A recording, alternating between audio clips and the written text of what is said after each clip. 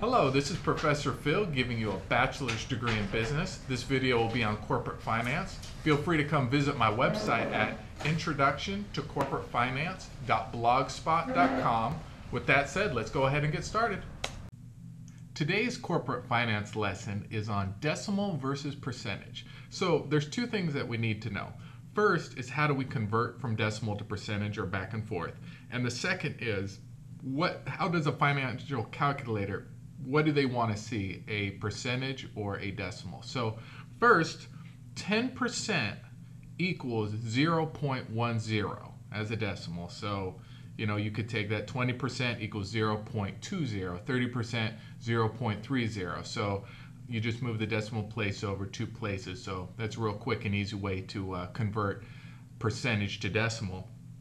And uh, when you use a financial calculator.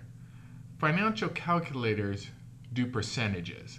They convert it all for you. They do all the work for you. Actually, a financial cal calculator is an extremely good investment because you don't have to do these kind of calculations that are really simple, but things that are really simple are really easy to forget or make a silly mistake on. So just want to leave that with you guys. So until next Hey, Professor Phil here. Hope you enjoyed the lesson. I just want to mention a couple things before you go.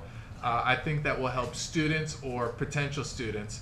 So the two questions that are on everybody's mind is how do I pay for school and as a student am I am I really ready to pass all these courses? Because when you get in the 300, 400 level university courses or graduate degree stuff like that, they get pretty tough. So I want to recommend a couple things from Professor Phil uh, for you to check out. And you can check them out if you want. I'm not not trying to force anybody, so just want to kind of recommend a couple things. So the first product I want, want to recommend is look, these people, they've taken the scholarships. They actually say we can guarantee scholarships, and they, they've taken all the scholarships and put them into one complete source. So you can get scholarships in one location. You don't got to go here, you don't got to go there. You can just find them in one spot.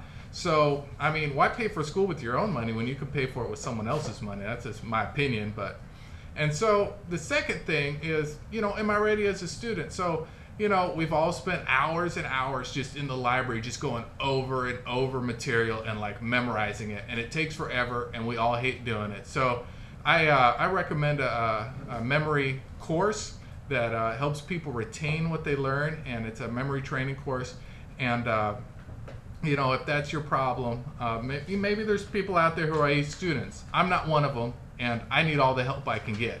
So, you know, if you're like me, you might want to check it out. So, just want to leave those two things with you.